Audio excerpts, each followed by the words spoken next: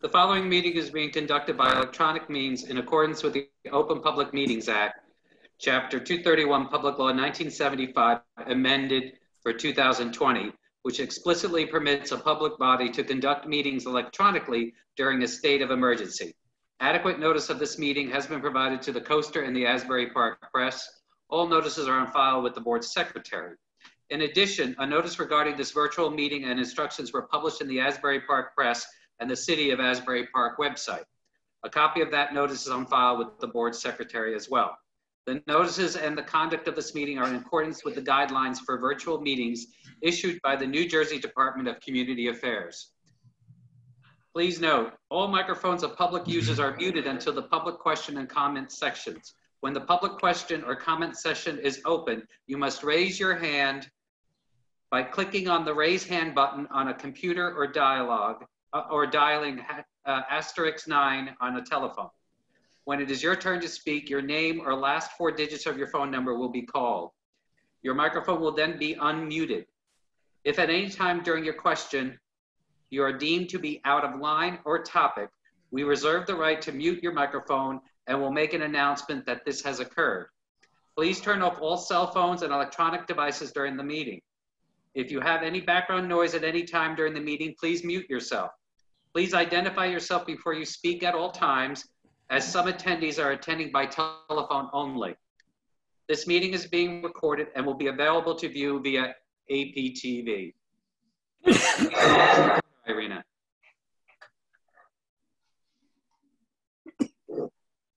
Thank you, Chris. I will take roll now. Christopher Avalone, Here. Russell Lewis,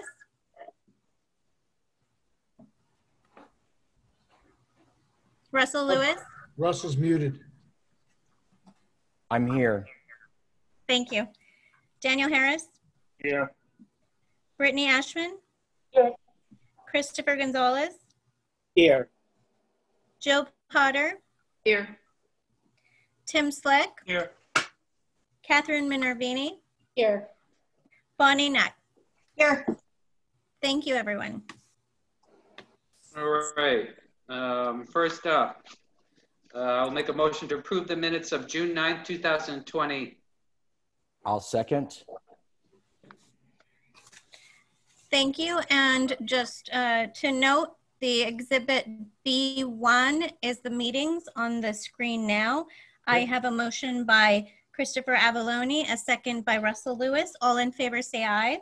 Aye. Aye. Any opposed? Thank you. All right. Um, one of the topics we have for the agenda is an amendment to our zoning board bylaws. Has everyone on the board had a chance to see the amendment that we're adding to the bylaws? Yes. Yes. Has is does anyone have any changes or uh, is everyone in agreement with the verbiage? Yes. Yes. I'm fine Yes. with it. Yes, I read it. I'm fine with it. Yeah, it's fine. Yes. Fine, I read it. All good. Yes. Sounds like we have an agreement there, Irina. Do we need to take a vote? Yes, Yes, please. need a, mo- a motion and a vote to amend the bylaws to include the uh, recent addition that you just discussed. And that's So I'll make that a motion to amend the bylaws with the uh, recent addition. I'll second. Thank you. I have a motion by Christopher Avalone, a second by Russell Lewis. All in favor say aye. Aye. Aye. Any opposed? Thank you. Amendment to the bylaws. Okay, All right. So we have a couple of applications that we need to carry. The first one is for 1302, but I'm recused, so I need a motion for that application to be carried. I'll make a motion. This is Russell Lewis acting as chair. I'll make a motion to carry 1302 Madison Avenue to August 11th, 2020 without further notice. I'll second that. Thank you. I have a motion by Russell Lewis and a second by Brittany Ashman to carry the application to August 11, 2020 without further notice. Everyone in favor except for Christopher Avaloni, please say aye. Aye. Thank you. Any opposed? Application carried. Thank you. And I will make a motion to carry uh, the 117 Borden Avenue BBC Capital Group to July 14th, 2020 without further notice. I'll second. Thank you. I have a motion by Christopher Avaloni and a second by Russell Lewis. All in favor say aye. Aye. Aye. Any opposed? Thank you. Application carried to July 14th, 2020 without further notice. All right, so we have one application to hear tonight, which is 1207, 1207 Bergh Street. Um, Mr. Karas, Mr. Vandermark, it's your show. Please uh, start. Uh, Mr. Serpico, do we have all the notices? Yes, uh, Mr. Chairman and members of the board, I've reviewed the notices in detail. Uh, They're in good order. We have jurisdiction to proceed with the application this evening. I appreciate that. Mr. Karas, you're up. Thank you. Um, Good evening, everybody. Uh, We are here tonight on behalf of an application on behalf of 1207 Bergh Street LLC. My name is Andrew Karras. I'm with the firm Fox Rothschild. I'm representing the applicant 1207 Bergh Street LLC. The property for which we're here tonight is located, as clearly indicated from the name, 1207 Bergh Street. It's block 3505, lot 7 just to give a little background on the property and what we are looking for tonight, there's an existing two-family dwelling on the property. In terms of the history, there had been an illegal uh, residence in the garage when my client purchased the property, but that has since been removed since it was an illegal residence. So what had been an illegal three-family is now a legal, legal two-family residence. The structure for which we're dealing with is in a deteriorated condition. Um, it is a disheveled, deteriorated structure. You have lot size 2,500 square feet for the property. We're located within R1 zone. It is in the infill area in the waterfront redevelopment. What is being proposed is to essentially renovate the former structure and bring it back to its former glory. And we're going to go through that in a little bit. One thing I do want to mention to the board, if you have driven by the property, you will notice that there has been some work that has been done on the property. That work, though, is pursuant to a zoning permit that was issued and construction permit so as to prevent any further deterioration of the site. That was all approved work that had been done on the property. As I indicated, my client is looking to renovate the property and bring it back to its former glory. What you'll see from the photo and the plans, that it's going to be a rather beautiful residence. Just a quick question, Mr. Karas. Sure. Uh, How long has uh, Mr. Vandermark owned this property? Um, not, if we can Since swear August- him in, maybe he can answer that, probably about a year, if not Sure, much. Since August of 2019. Please raise your right hand, Mr. Vandermark. You solemnly swear the testimony about to give in this matter, read the truth, the whole truth, and nothing but the truth. I do. Okay, please state and spell your name and give us your affiliation with the applicant. Sure. That is Anthony C. Vandermark Jr. Vandermark is V as in Victor, A N D E R M A R K. Uh, This, this evening, I'm wearing actually two hats. I'm in a unique position that I am the architect of record uh, and one of the owners of the property, along with my wife, uh, sister, and brother-in-law. So this is a family affair this evening. Thank you. Mr. Evelyn? Um, Just another question uh, in regards to the property. Uh, uh, Is this property, uh, to two-family, are- are- is Mr. Vandermark going to be living in this property or is it, uh, so it will be owner occupied? Yeah, it's a very good question. Uh, We, we are not real estate developers, and this is not an investment property where we're going to be renting it. This is going to be an owner occupied property by this family. Ah, that's always nice to hear.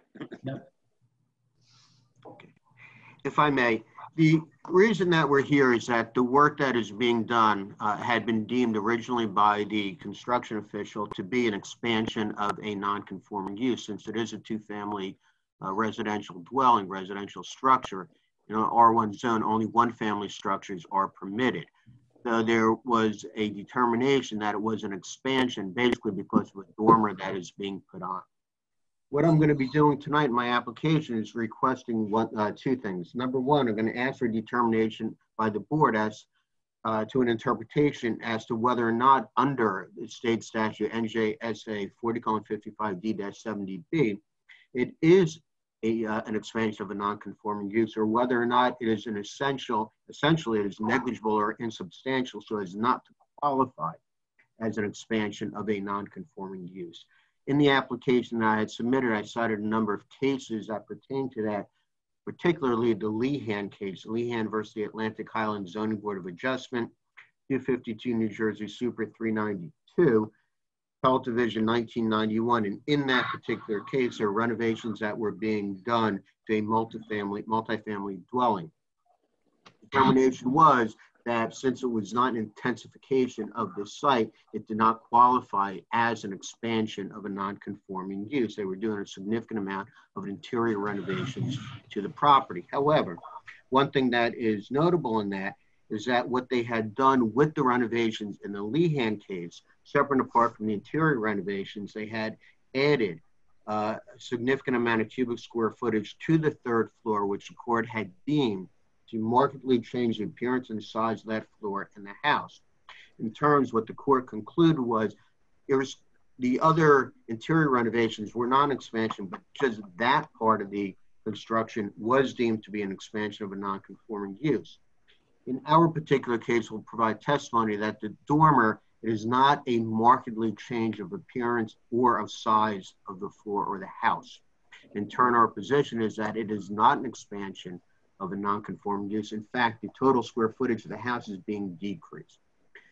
If the board decides that it is an expansion of a non-conforming use, we're still seeking in this application a variance under D2 for an expansion of a non-conforming use, and what we'll be calling our planner, Mr. Colling, to testify as that. With that being said, um, what I'll do is I'll get directly to the testimony. There's variance relief that is being requested, but it's all existing uh, nonconformities that we have or a decrease actually in the nonconformities um, that appear at the site.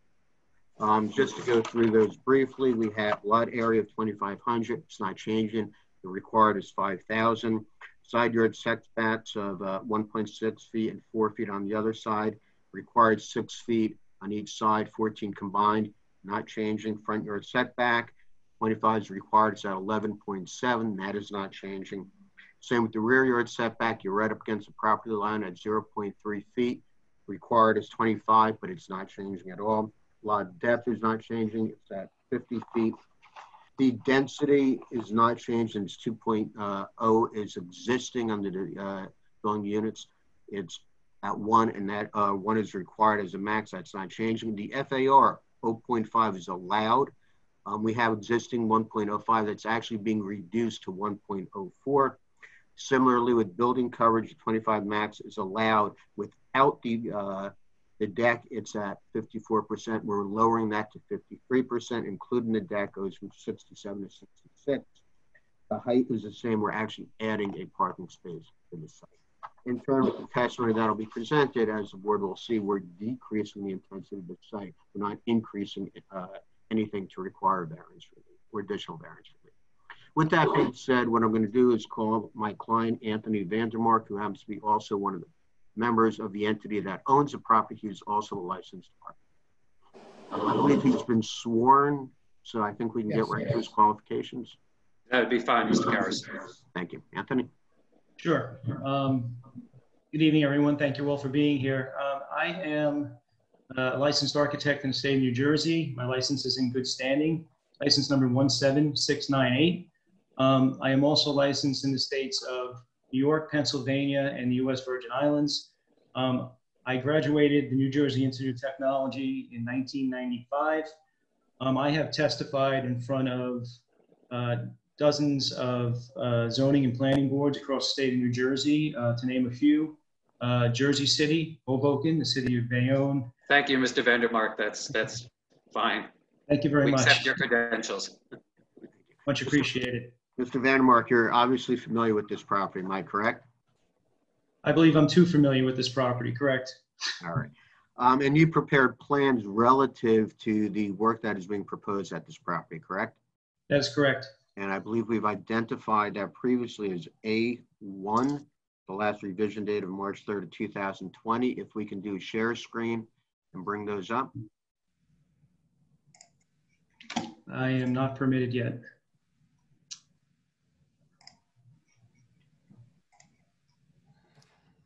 Irina? Irina's on mute. Got it. Go ahead, Mr. Vandermark. Excellent.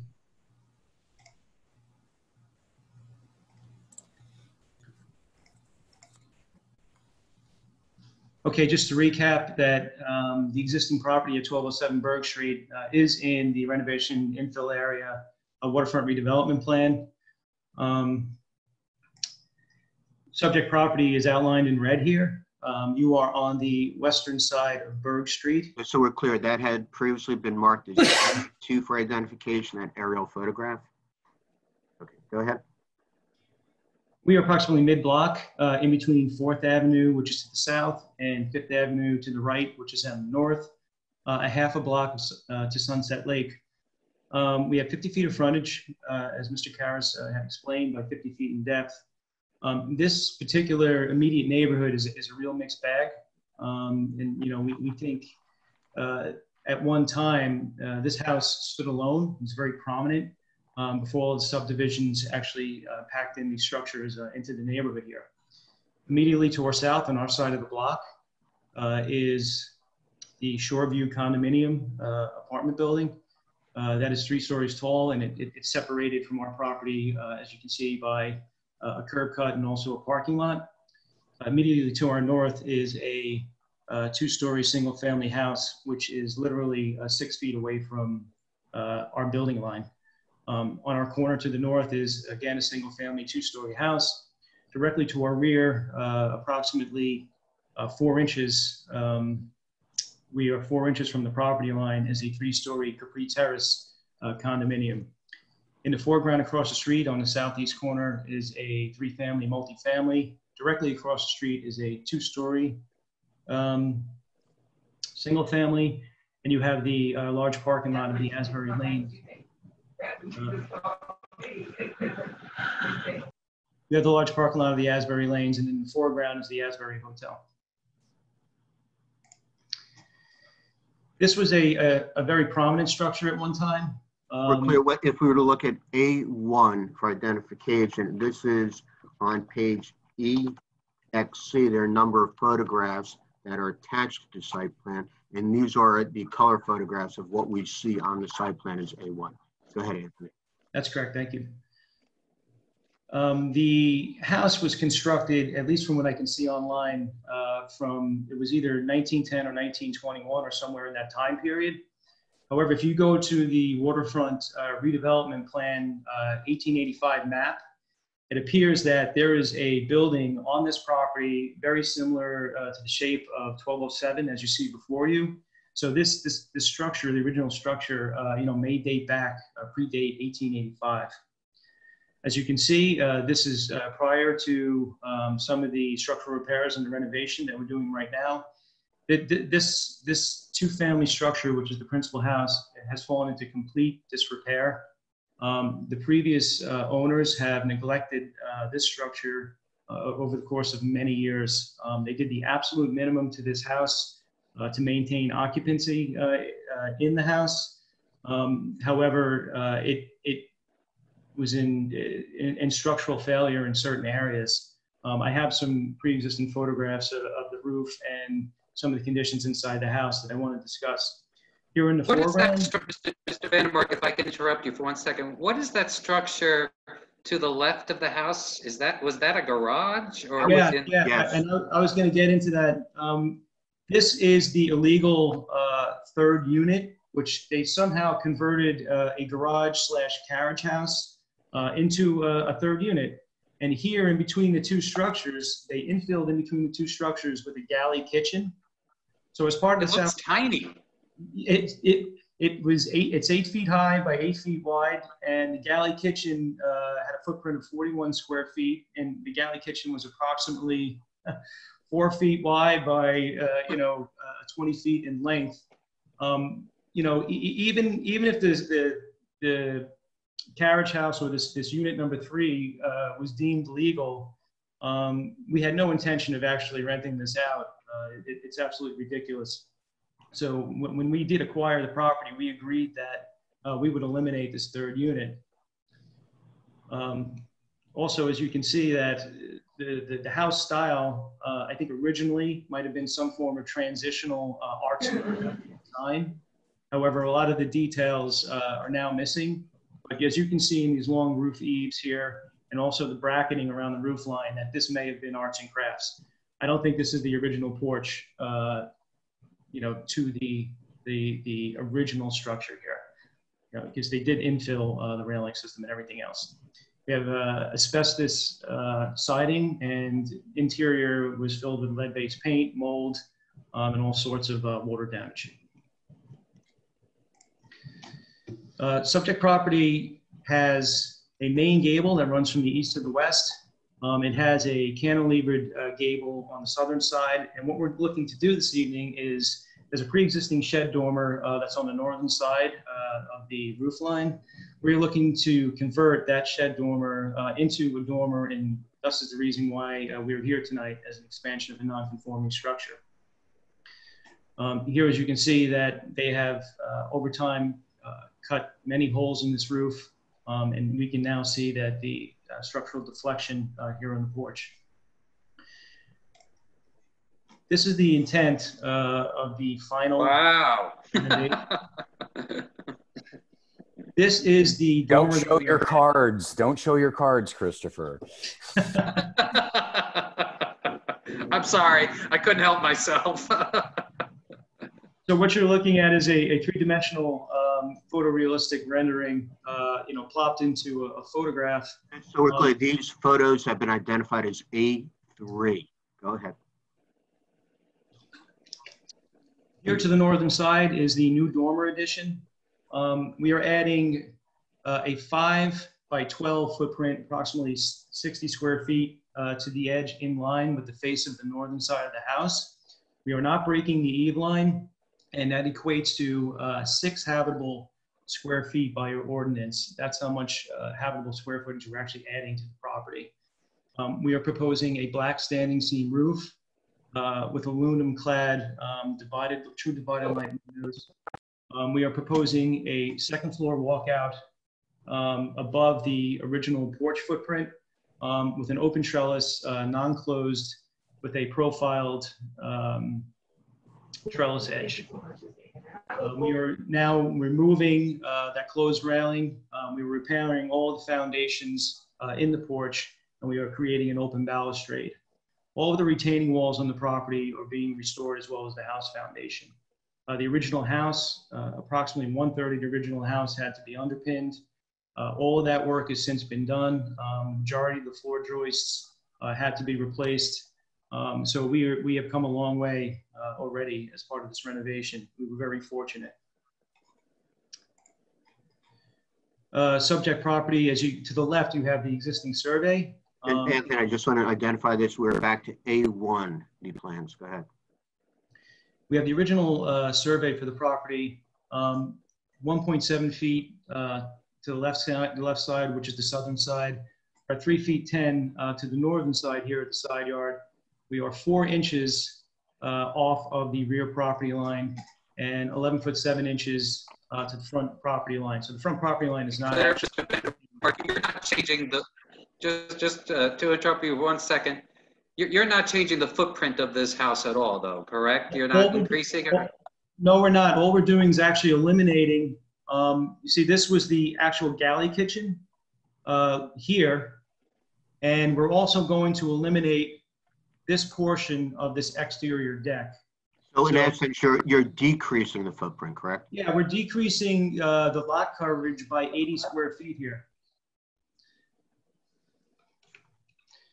And I, will- I will show an amendment, uh, to the plans to actually show that we are reducing, uh, this, uh, area of the deck by 39 square feet. And already we've removed that galley kitchen of the third unit. So although it was illegal, we're physically removing the third unit, thus, uh, lessening the intensity of the property.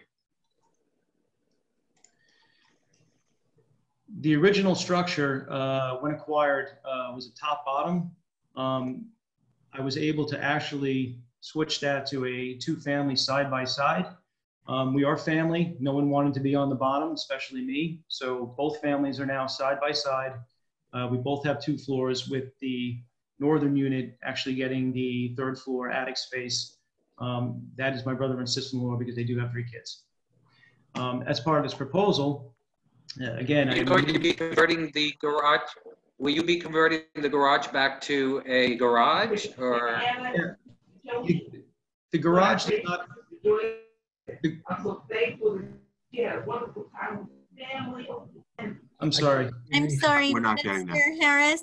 I, I un- I muted your microphone because we're getting some background noise. You can unmute your microphone at any time during the meeting when you want to speak. Thank you.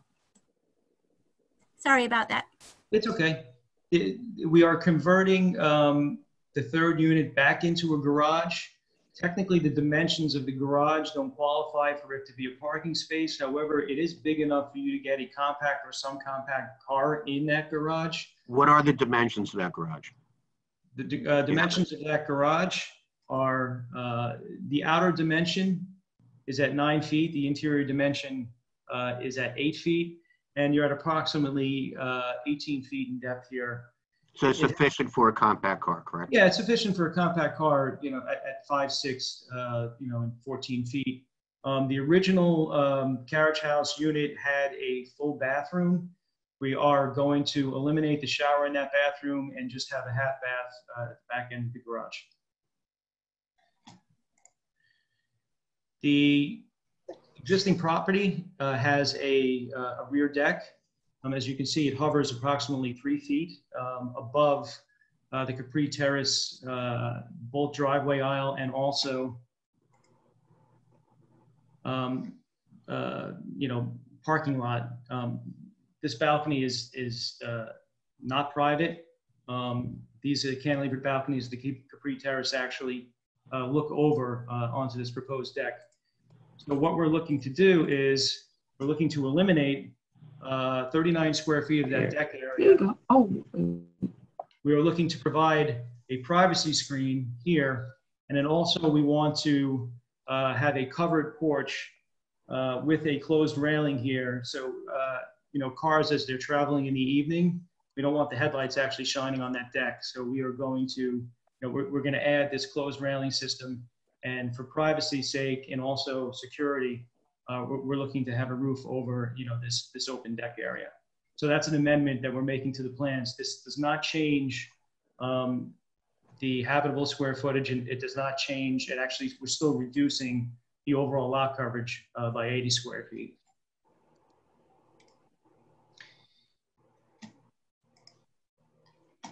The Second floor, uh, again, uh, the two units are side by side. Um, we, we have two bedrooms apiece, uh, both the north and south unit. Um, we are proposing a, uh, a walkout uh, second floor uh, roof deck, which is above the original footprint of the porch.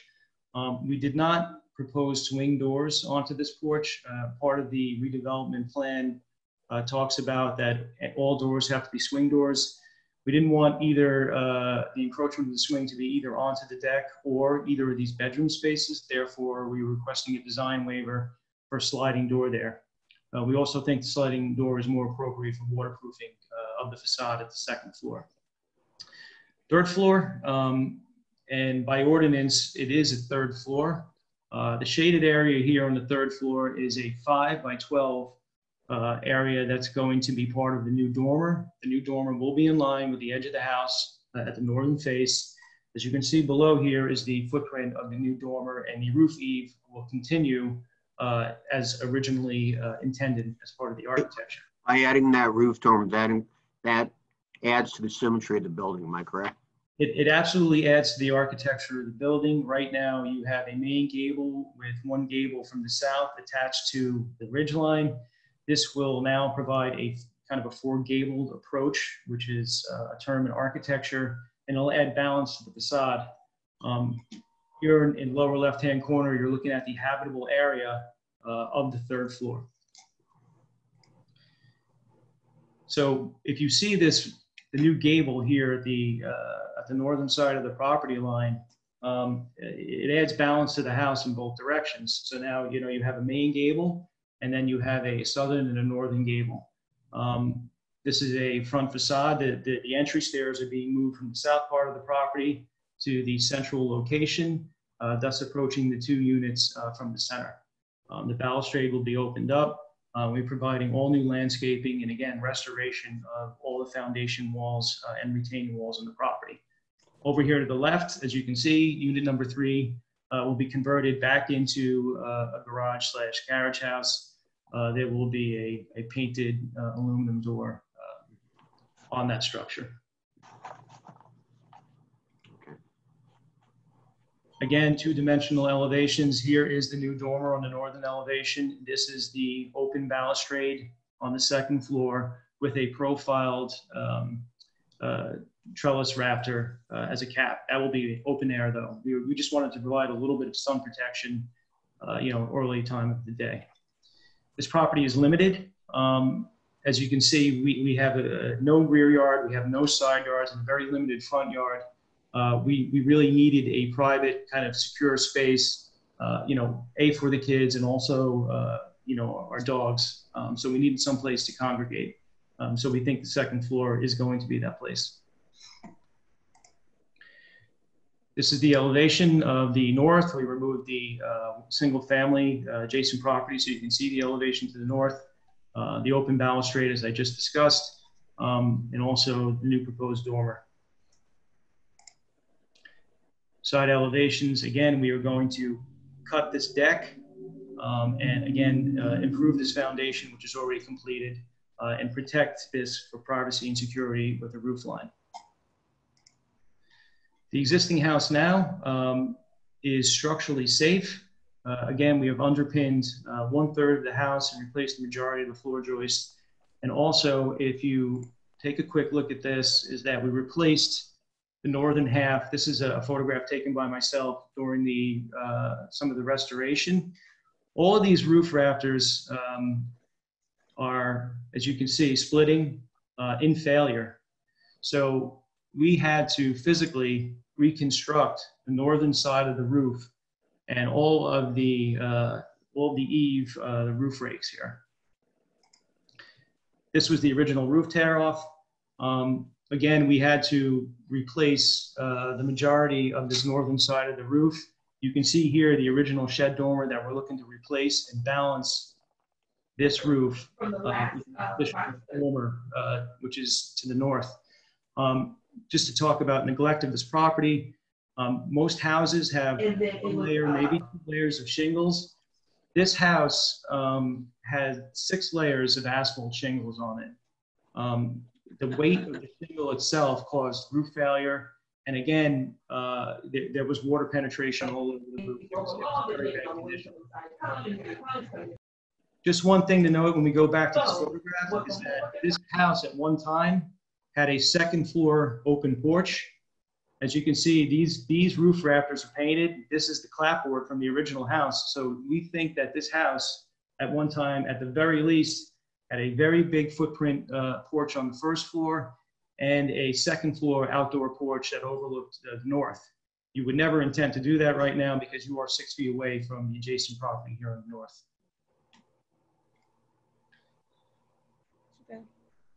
Where will you put your HVAC equipment, Mr. Vandermark? Very, very good question. If you don't mind me just skipping back.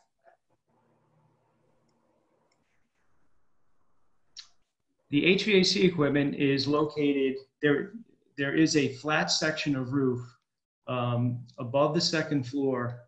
Uh, it is going to go, it is on the southern and western uh, side of the house.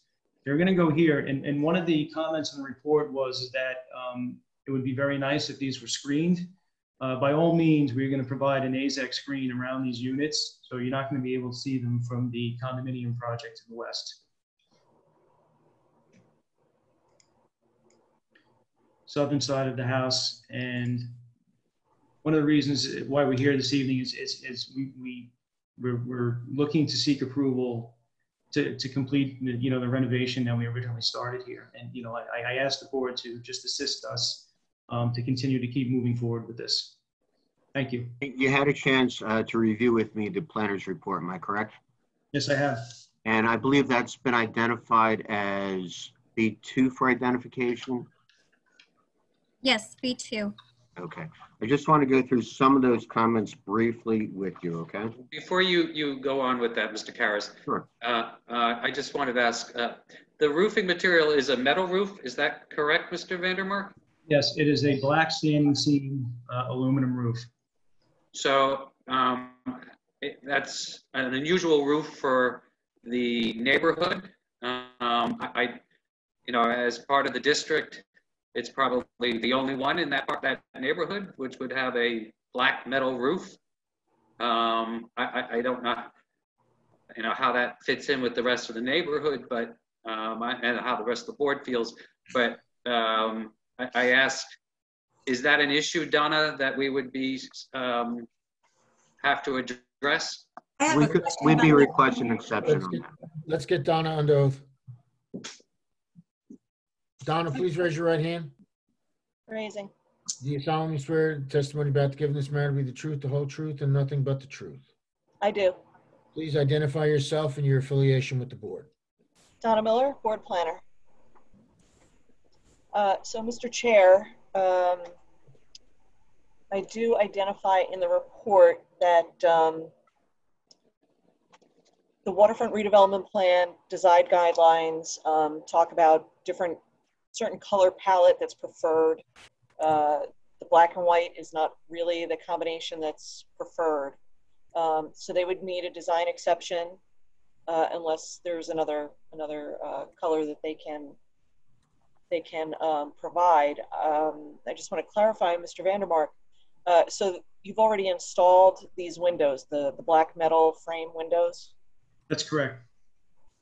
So we're kind of little cart and horse. uh, If, if I can just respond, um, in the architectural design guidelines of the redevelopment plan, um, you know, you, you talk about the, the predominant, um, you know, Mediterranean revival arts and crafts. However, in the redevelopment plan, it specifically states the guidelines encourage the expression of these styles in a modern and contemporary way appropriate to new oceanfront architecture.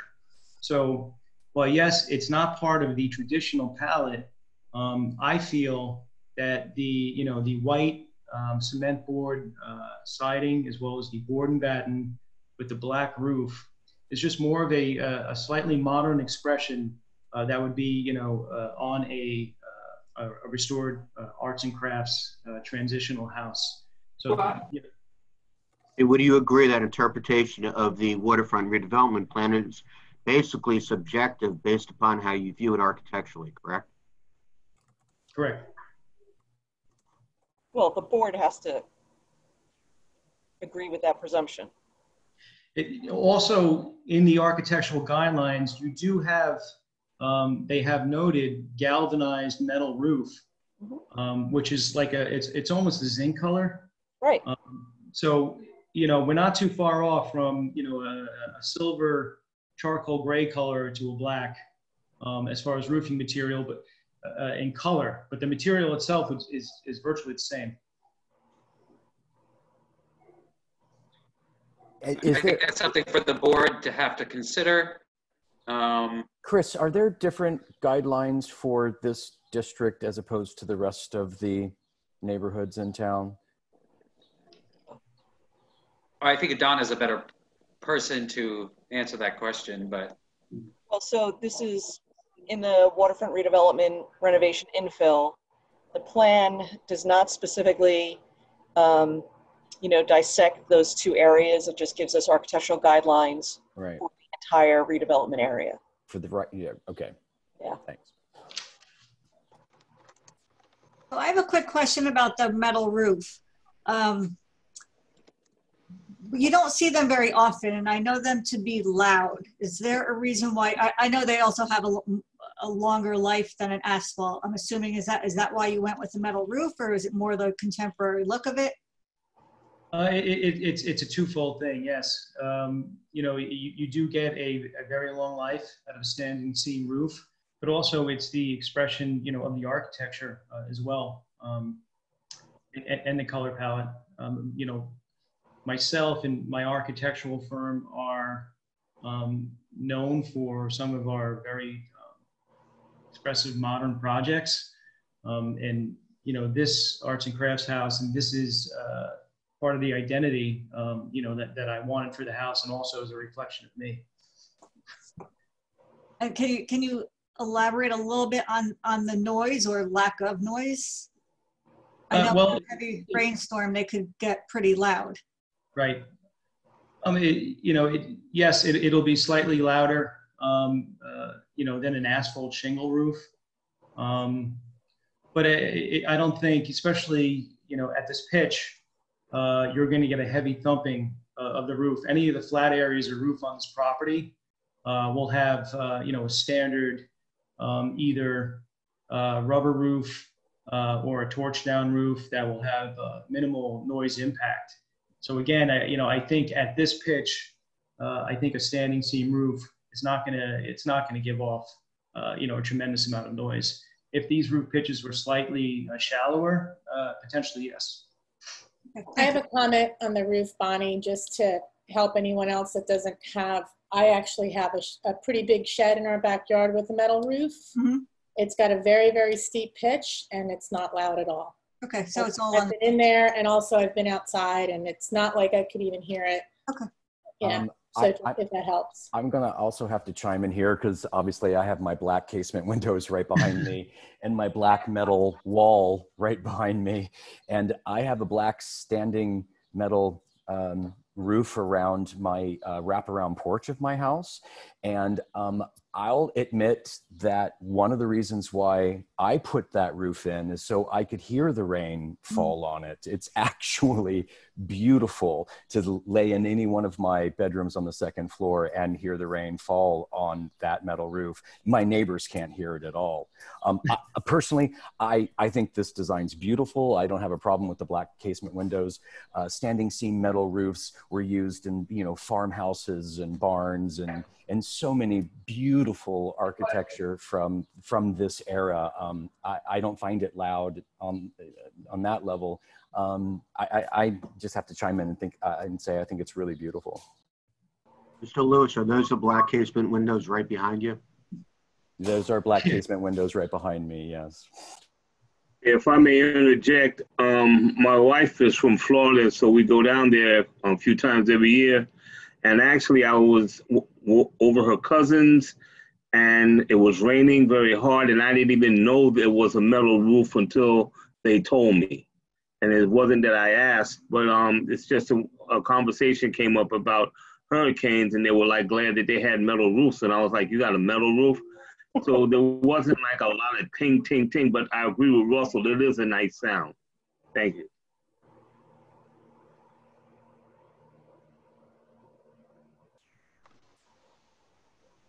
Any other comments on the roof? Uh, yes. Um, this is a uh, two-family uh, house, right? Correct. Correct. Who's gonna have the access to the uh, third floor? The northern unit, unit number two. Um, we have the, uh, my brother and sister-in-law have three kids, uh, so therefore they get access to uh, the three floors, and my wife and I, without kids, will have access to the southern portion, which is two floors. Um, and you are basically um, maintaining the color of the previous house, right? The previous house was also white. The previous asbestos shingle uh, was a white, off-white color, correct? Okay, no more questions. Thank you. Anyone else on the roof? I- Anthony, what I'd like to do is take you through the report then, and let's go to page three of the report, off-street parking. You indicated that the garage is being converted back, or the, what had been an illegal unit is being converted back to what appears to have been a garage. Am I correct? That's correct. So that adds an additional parking space to the property whereby currently existing you have one, so that will add a second parking space to the property, correct? Correct. Continuing on, uh, the facade color on page four, I believe we've. co- Hang on, hang on. Uh, sorry, Andy, it's Donna. Um, so I just want to go back and clarify that about the parking stall in the garage. Um, so I know uh, Mr. Vandermark had given us some dimensions on the interior of that space. So there's also a full bathroom, uh, so shower stall, sink, and commode uh, in that space as well. And, and, and I just testified that that was going to be uh, converted into just a powder room. The shower is going to be eliminated. Um, and it will just be a sink and a toilet uh, at the back end of the garage. But the is the volume changing? No, the volume is not changing. Uh, we are not expanding the footprint of that garage. Um, and the volume of the bathroom itself is not changing as well. Okay, so the space between the doors for the bathroom and the uh, the man door on the side to get out of the of the space. Um, can you tell me what that dimension is? Uh, sure. Sorry.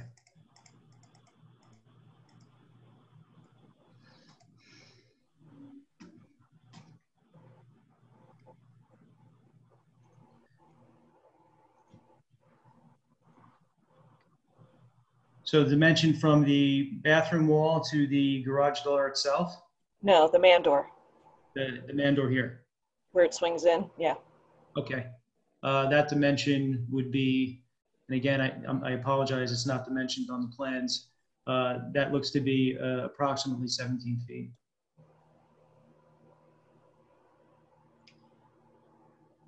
Okay, but so if the bathroom door is open and the man door is open,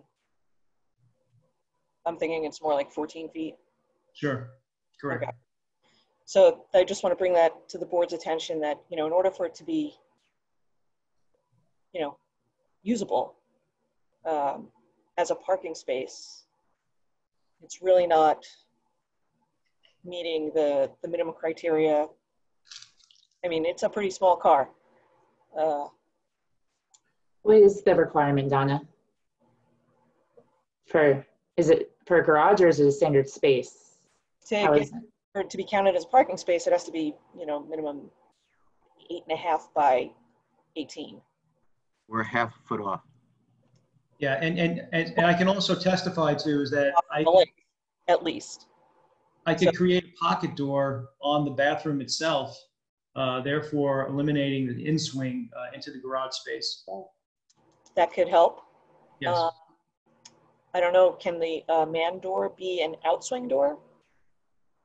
But keep in mind, you don't, you don't need that uh, side door for, ac- a lot of garages, old garages have access from the side. You can gr- access the garage through the garage door itself while that door is closed.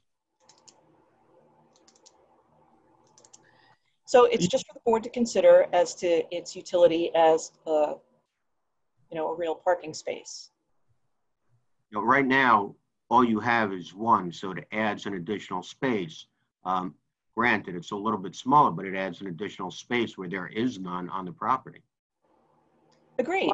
And again, I, you know, I appreciate that this is for the Vandermarks family, immediate family, their extended family. You know, again, it doesn't matter. There may be people after the Vandermarks who will use this property. You know, it has to be able to be utilized by anybody. So credit for a legitimate parking space has to be, you know, meeting the criteria for a legitimate parking space. If the board finds that you know, because of how the property is being used, its unique, um, you know, configuration, the size of the lot, the size of the structure, all of those things count as credit toward the grant of, in this case, would be a design exception. It's not a variance, it's a lower, you know, it's a much lower bar. And, you know, the board just has to make that finding. I'm just, Were there any- that it, you know, it doesn't meet the criteria. Okay. Right. Were there any plans to remove that bathroom? No. How many bathrooms are there in uh, each unit? Uh, the northern side has two and a half and the southern side has one and a half. You know, the fact, the fact that we have children in the family, um, really the intent was is that, you know, coming back from the beach that, you know, they, you know, could use that toilet as opposed to running through the house. Um, so we, we just found it to be more convenient so that the mess would stay there as opposed to inside. I understand that, but as you know, parking is very limited in that area, being so close to the beach and the hotel right there. Um, I strongly think that needs to be a legitimate parking spot, since you already have so many other bathrooms. It's not the depth. I mean, the depth at 18 feet is legitimate parking space. It's the width. It's the width. Nothing that can be done to create a wider garage. If we, and in terms of access to the bathroom, if you create a pocket door, then you're not going to have that swing to the bathroom. And you can always gain access to the garage, to the garage door, as opposed to the man door on the side. I thought it was eight and a half by 18, Donna. Did I hear you wrong? Sorry. Uh, You know, I, I I could heard it was 14 feet wide, long and 18 is required. So Nice. if, if they don't, if it doesn't matter that the man door be functional while there's a car inside, that's what the board has to find. I could also swing that door out. Um, I could swing that door out. Swing. Um, so the thing is, the interior dimension is only eight foot clear. Is that correct? Correct. Okay. So, you know, it's for a parking space in a parking lot, that's allowed as long as you have enough, you know, backup length to make the maneuvering. So in this case, it's more of a, well, can I really get the door open problem. So um, the We could board, adjust that by The board- changing that man door to make it swing out and doing a pocket door in the bathroom. Right, so the board can say, you know, eight feet is a little tight for the interior width, but um, there's, it's not enough of a benefit to make that space wider. I mean, if you had to enlarge that garage space, you would take away the, you know, that open space you're creating between the garage and the house that used to be a kitchen. Uh, you know, and it would probably conflict with, you know, the nice uh, overhang you're getting with the uh, with the second floor, and you know that space would now be diminished uh, for the sake of oh, I want you know an extra eight to six inches of width in that parking space. So these are all things the board can say, yes, that's acceptable. We grant the you know the exception. So how wide is that? You said, I heard 14 feet from door to door. If you have a swing door on the bathroom and you have an in-swing door for that man door on the side of the garage, there's only about 14 feet clear. The architect has said he can make the man door an outswing door and he can make the bathroom door a pocket door. That would have removed the conflicts with the interior dimensions and then you would have a long enough space. All right, thank you. Which we'll stipulate to. I already have it written down in the facts. Thank you, Jack. uh, it's Donegan. I mean, they still, as a two-family house, they need three off-street parking spaces. They're still going to have that deficiency. You know, maybe it's in the real world application. You know, it's a technicality. In the real world, if they have small enough cars, they may be able to get three cars off the street. But technically, you've got a non-conforming use with two families with a parking deficiency, correct? Exactly. Existing. So. Okay, let's keep going. Okay, thank you. Please proceed. Thank you. Going to page four, 4A facade color we've dealt with. The windows, I believe we've already dealt with. Page five, the sliding doors, we've already dealt with. The fence. Anthony, can you go through what is being proposed with regard to the fence on the side of the property? Uh, sure. Um, the existing property uh, already has a six-foot-high um, opaque PVC fence, both to the southern side and here at the northern gate line. Um, we were just simply proposing to add to it here at the northern line um, and leave it alone. Um, as part of the planning report, um, a wood stockade uh, board-on-board fence uh, would be more appropriate. Um, if the board sees fit and that's something, um, you know, that, that they want as part of the uh, subject to approval, uh, you know, we would agree to that. It- It's just, a you know, it's, it- it's, it's just adding, you know, a little bit more work. But you'd have no objection to adding a wood stockade fence in place of the existing vinyl that you have, am I correct? No, I do not. Okay. With regard to F, the rooftop equipment, the screening, we've already covered. The, su- the, is there another question? Sure. It's Donna again. Can you back up to the windows? Can, can Mr. Vandermark just um, point out which are the awning windows in Sure. this sketch? Yes. So we have uh, a ribbon of awning window here, a ribbon of awning window here, and a ribbon of awning window here. Um, an awning window is similar to a casement, however, the hinge happens to be in a different location. Um, as per the redevelopment plan, you want uh, a square aesthetic with divided light. Um, these could have very well been um, just a very small casement window with the same exact appearance. Um, I, I, don't see uh, any harm uh, with awning windows. It, it happens to be uh, an expression of some of the architecture that I put together. Is that I, I enjoy having an awning window uh, high, you know, above the bedline in, in most bedrooms. Um, so I, I don't see as that as being um, a detriment to the architecture and or uh, architectural details of the redevelopment plan. And we'd request an exception to the, uh, to the design elements that are required. And it's, it's on both sides though, right? North and south? Yes. Okay. Go to page five, the siding style. Why don't you touch upon that a little bit? Sure. Um, yeah, in the report, uh, had mentioned uh, historically uh, the siding would be of a very thin height and profile. Um, that would be four inches. Uh, what we have uh, uh, being installed on the house is is a five and, a, and a half vertical height of aesthetic, which is the absolute minimum vertical cement board plank siding you can get.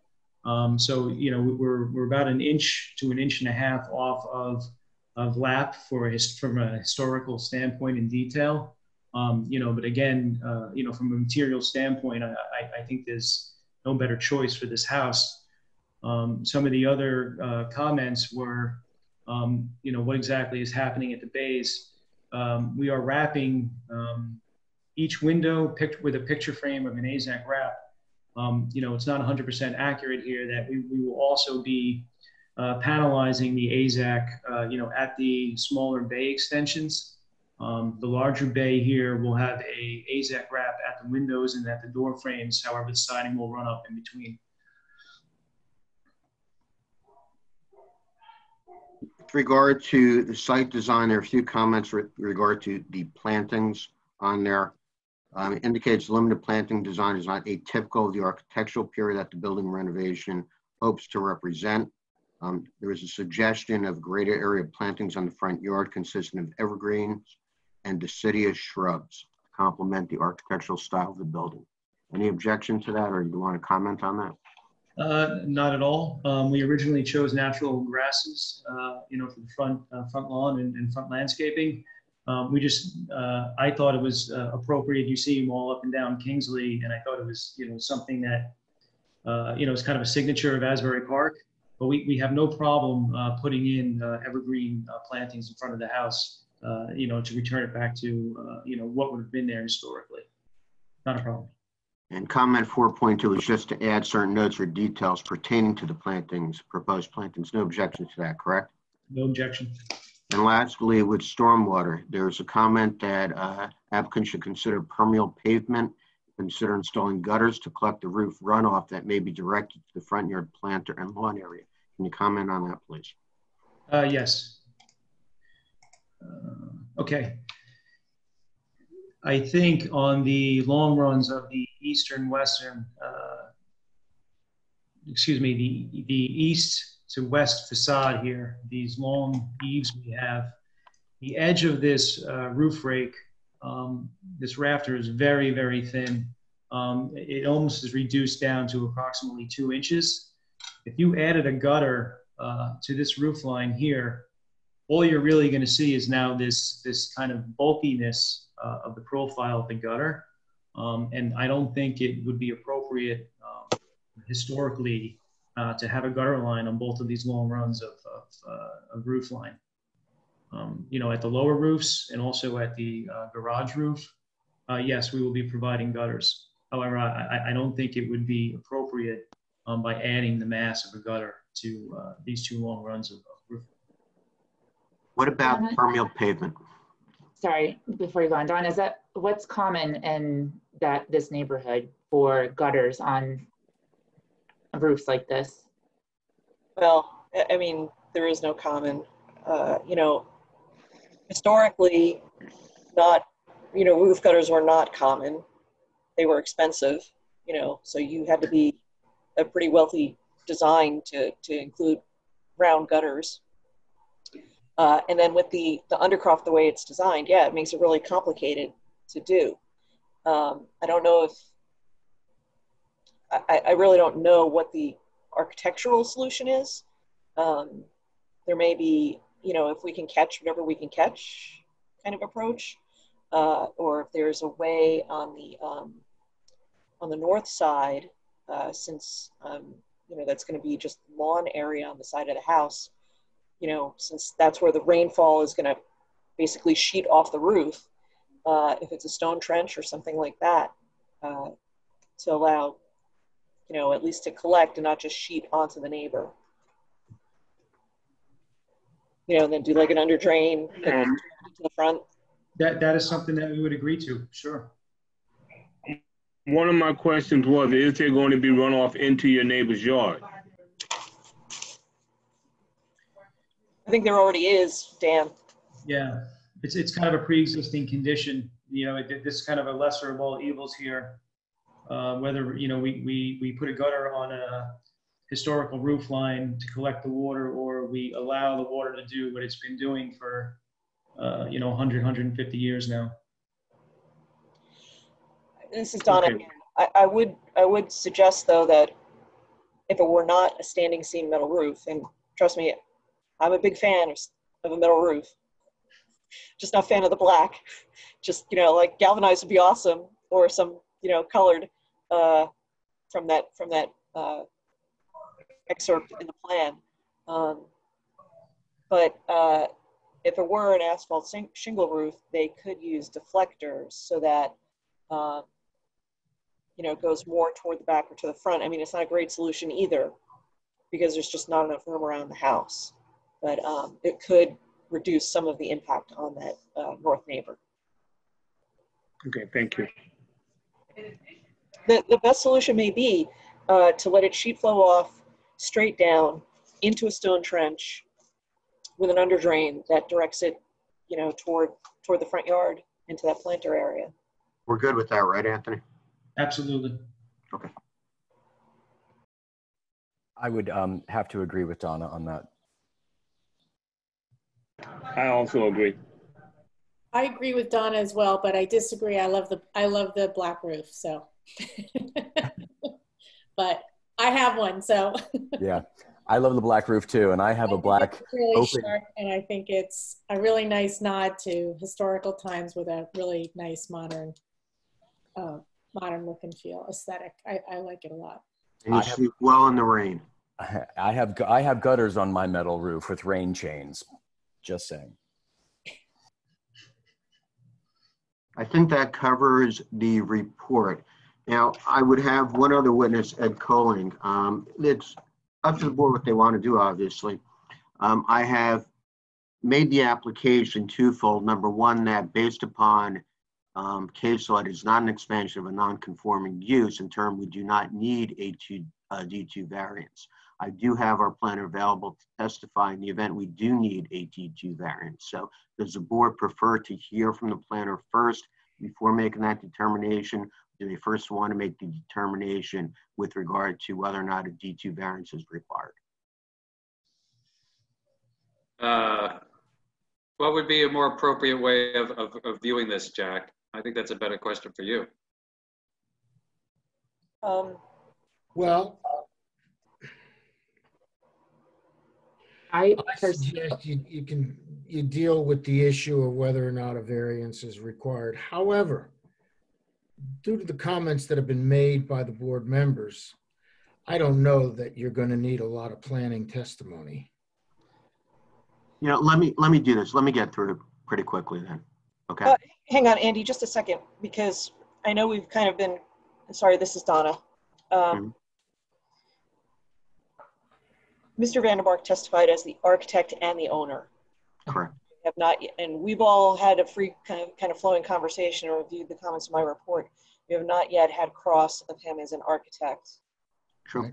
Public, so I think before you move on to any kind of summation or, or characterization of the interpretation, maybe we should do Okay. Absolutely, Donna, but. Yeah, let's um, get the, let's find out. I think, I think first we have to make sure that the board's questions are all answered before we move on to the general public.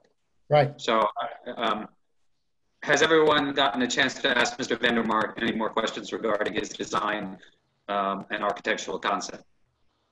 I, I have You a take each one independently. I have a question. This is Russell Lewis. Um, Mr. Vandermark, you, you had testified that there was some portion of the structure that was going to be covered and built in to shield from um, car lights and so forth. That I, I, I, and I'm I'm just wanting to return to that because it was the only thing that I'm not clear about. Sure. So at the, at the first floor, and if I go back to, okay, we, we had a pre-existing, And this Uh, is what, what elevation is this? this is the western elevation, rear facade. Okay. we, we had a three and a half foot wide deck um, that runs approximately half of the house and then wrapped forward um, and terminated at that kitchen uh, for the illegal third unit. Okay. So what we're proposing is I'm going to eliminate this wraparound uh, of this deck area um, by re- and reduce an additional 39 square feet of lot coverage um, and just maintain the portion that's directly behind the house. Um, also, um, what I'm requesting from the board is that in this amendment, I would like to make this section solid um, with a solid foundation. Um, you know, again, uh, for protection from headlights, and also to make it a little bit more uh, private and secure. Um, because if you can see here in this uh, in this photograph, this balcony, uh, this cantilever balcony is literally 10 feet away from this, this Yeah. deck. Okay. Um, so, you know, I, I was looking to, you know, have a little bit of protection and carrying this roof line down and picture framing, you know, this, this outdoor space. All right. Cool. It's really, it's really not ideal. Um, it, it wouldn't be something that if you had to create, um, you wouldn't create this condition from, from, uh, from, from new construction. And that is just a first floor. It, uh, it will it will continue a little bit of a roof line. It's not going all the way up, obviously. to Yes, of course. That, that, that is only a a continuation of the roof line here of the first floor. Do you have a rendering of that of that elevation, that side? No, I do not. Okay. My apologies for that. All right. Um, to, oh, sorry, Russell, are you done? I think I am. Thank you. Um, to piggyback off that, are there any lights that are going to be on the exterior of the house? In the Uh, rear, so what, facing west? Not, not, not on the rear of the house. No, we're not proposing any lights there. Can you go back to your rendering of that side of the house?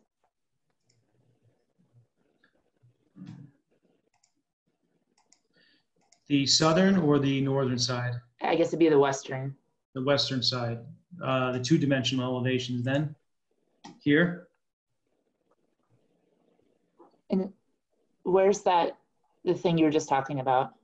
This will be the, the new um, opaque railing with a privacy fence now. Because once you, once you remove that kitchen area, you're now inviting people to walk down this driveway and just jump right onto this deck. Um, it's, it's not very secure. Um, so again, this provides a little bit more protection, um, you know, if this is an opaque railing with a six foot high privacy fence here. Rather than, Rather than an open balustrade um, that runs from here all the way through and back around the house. Um, it- it's, it's definitely not appropriate and, and really uh, not private and not secure. okay, thank you. Any other questions from the other board members?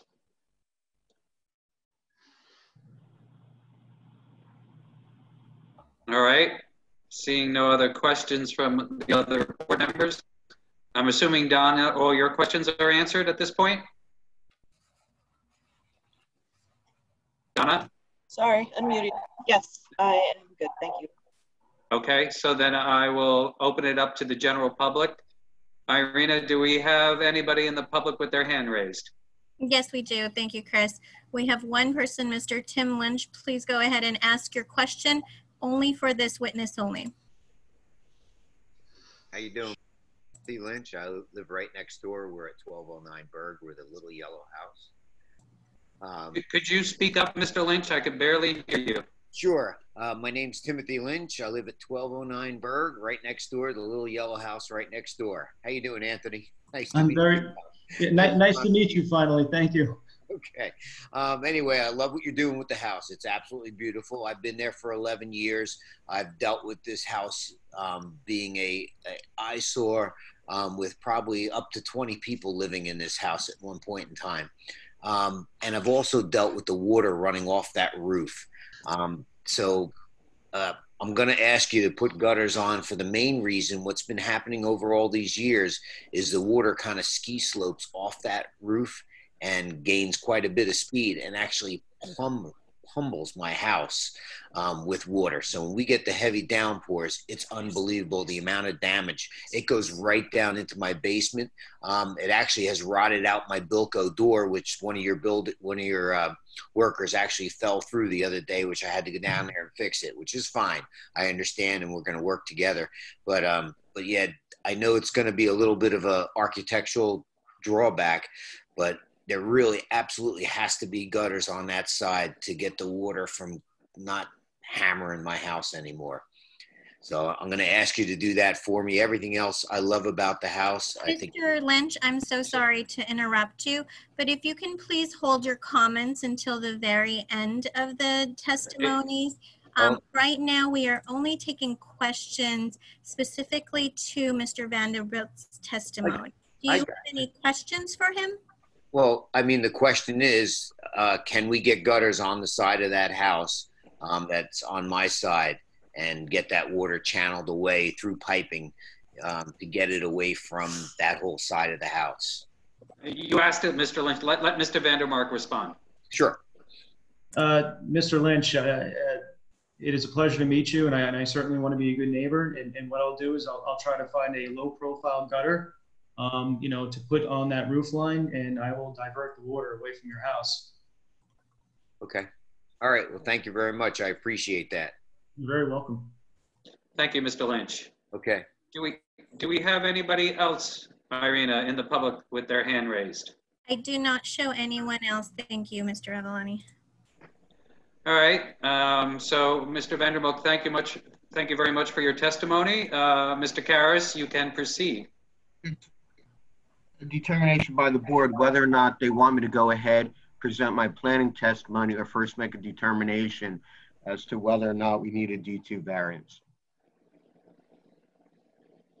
I'm good either way, so. Typically, any expansion of, basic law is if you expand a non-conforming use or non-conforming structure, it typically requires a, uh, a D2. When in doubt, whether you think this, the expansion is substantial enough to meet that threshold, that's that Lawrence case. We went through that case over on, for Mr. Siegel's property a few months Correct. back. We determined 20 versus 21 units. We used the same criteria in the interpretation. You looked at the qualitative uh, expansion. Uh, This, that case is a little different from this because this definitely has some numbers attached to it. Uh, And, uh, you know, it's your call. Uh, And in the alternative, if you do determine it's a, it's a D2, obviously by the comments that have been made, I'm going to go out on a limb here, obviously by the comments that have been made by all the board members and the next door neighbor, uh, everyone likes the project and the applicant has agreed to address the issue of the water runoff for the next door neighbor. That's So- irrespective of whether or not it's a D2. um, The comments and certainly the stipulations that we've agreed to, um, Right. certainly we're agreeing to. In terms of whether or not it's an expansion, we're reducing the footprint. The only potential expansion um, is physically that dormer. Right. But the net is a decrease in the overall size of the building. So I would, So- So, so I, I agree with you, Mr. Karas. Um, I, I think, you know, we should at least poll the board, see how they feel about whether this is an expansion of a non, uh, or an exacerbating a non-conforming use uh, uh, by expansion of the dormer. So I, I think the best way to proceed is we- we get some comments back from the board and see where we go from there. Sure, poll the board. very good. So let, let's, I'll start with Russell. I do not think it meets the threshold. I don't think it, uh, it exacerbates the, um, that rule. Okay, Brittany. Um, I'm, I'm kind of torn, but I think I'm happy that a little bit of the building coverage is going down and that the FAR is slightly going down.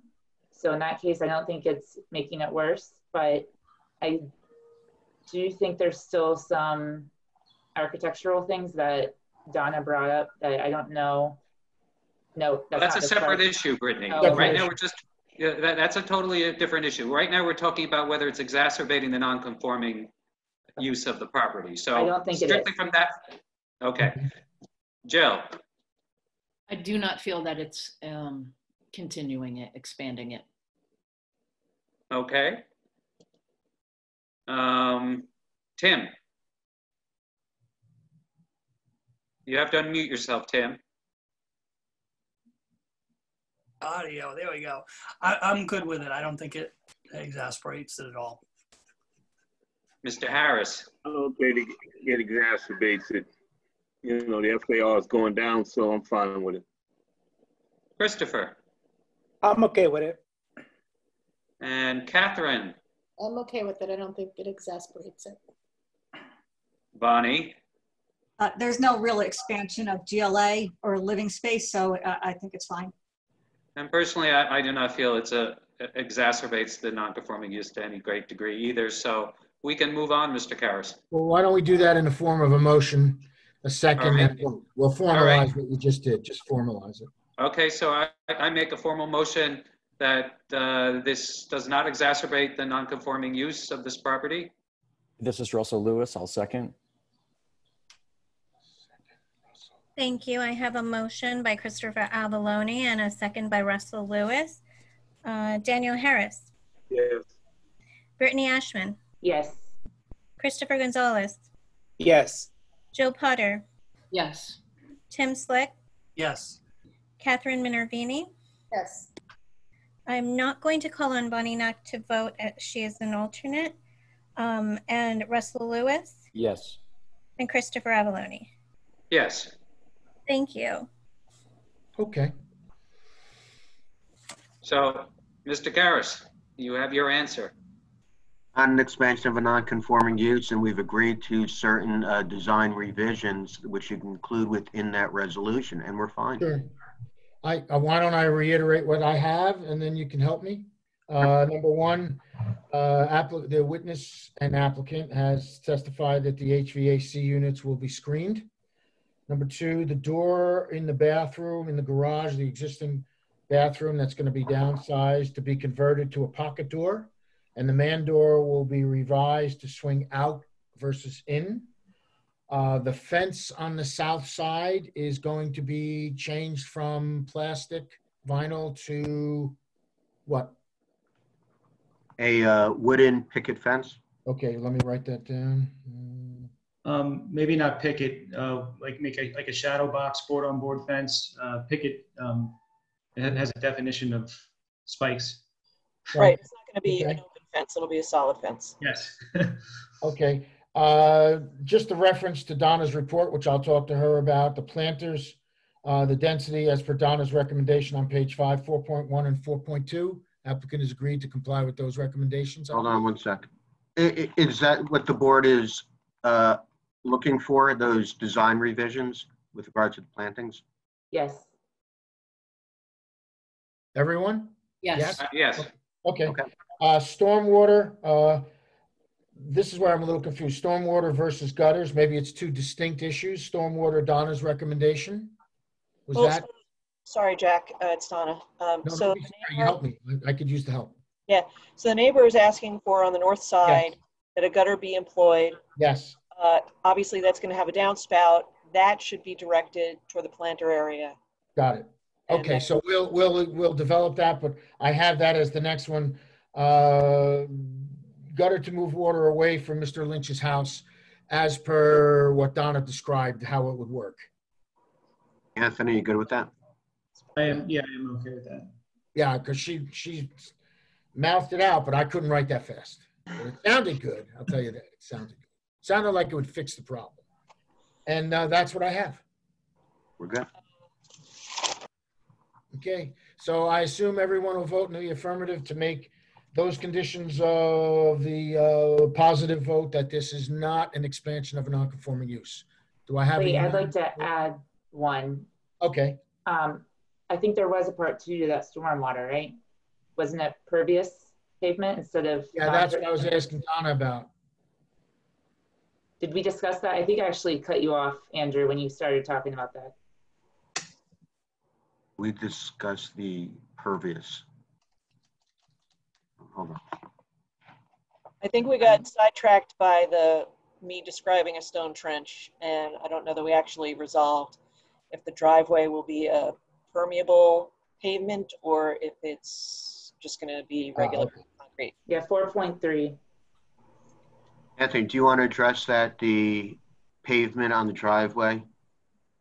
Um, Recommendation is to make it permeable. Uh, i- i- if the board sees fit, if that's something, um, that is, that, you know, will, will sway the approval, then it's something that I will agree to. Um, uh, you know, I am not, uh, locked into, uh, a concrete driveway. It's fine. I would feel strongly for that since you are at sixty-six percent building coverage and Fine. what's required is twenty-five. That's fine. Yep. Is that the unanimous consent, uh, consensus of the board for that additional condition? Yes. I'm good with that. I would agree with Anyone that. against, anyone opposed? No, okay. Fine. So uh, that will be uh, another condition of the approval. We're good. Application approved. Thank you. All right. Everybody have a good night, and uh, I appreciate it. Thank you very much. Uh, Jack, Yes? we didn't have public comment, did we? No, No, we did not. Sorry not. about that, but I think Mr., uh, we'll get Mr. Lynch back in. 'Cause he Gotta didn't make want to that say same more. comment. Yeah. Yeah, Well, okay, actually, Lynch, since you a there? D2 variance is not required, I don't know that there's public comment on an interpretation. Yeah, there Right. really isn't, but we already know his comment. Yeah. We know it. We're okay. Unless he wants to add something, but Well- Well, unless there's somebody else in the audience. Is there anybody else that we didn't hear from, Irina? There is no one else. Um, Would you like me to unmute Mr. Lynch just to see if he had any other comments? uh, Andy, you don't, I assume you don't mind? that's fine. Okay. Thank you. Okay, Mr. Lynch, go ahead. Uh, let me, let me speak to him. Mr. Lynch? Yes, yes, sir. Yeah, yeah, Jack Serpico, Board Attorney. Okay. Uh, I, I believe we um, addressed your concerns. Yes, it sounds like you did. Okay, and I did understand you to say during the question and answer period that you were overwhelmingly in favor of the project, Ab- ab- uh, subject to the drainage situation, uh, the water runoff being fixed. Absolutely. Yeah, it looks like he's doing a great job. Okay. Just a quick question, Jack. Does he need to be sworn in bef- I'm- with I'm- that? We're fine, we're okay. Yeah. I'm ju- Okay. I'm just, I'm just recharacterizing his testimony that he made during the hearing. It's Okay. okay, we're fine, we're fine. Okay. Thank Uh, you. As long, if everybody's happy, I'm happy. Okay, I'm, I'm very happy. I look forward to this project happening. Okay. It's, it's quite, it's quite beautiful, Mr. Vandermark. Thank you, thank you so much. I, I really appreciate it. Thanks. Yes. All right. So I'll make a motion to adjourn the meeting. I'll second. Okay, I have a motion by uh, Christopher Avalone and a second by Brittany Ashman. All in favor, say aye. Aye. Thank you. Any opposed? Thank you. Night, Meeting everyone. adjourned. Thank you very much. Have a Thank great- you, everybody. everyone. Good luck, Mr. Vandermark, with your house. Thank you. Good night. Night. Thank you.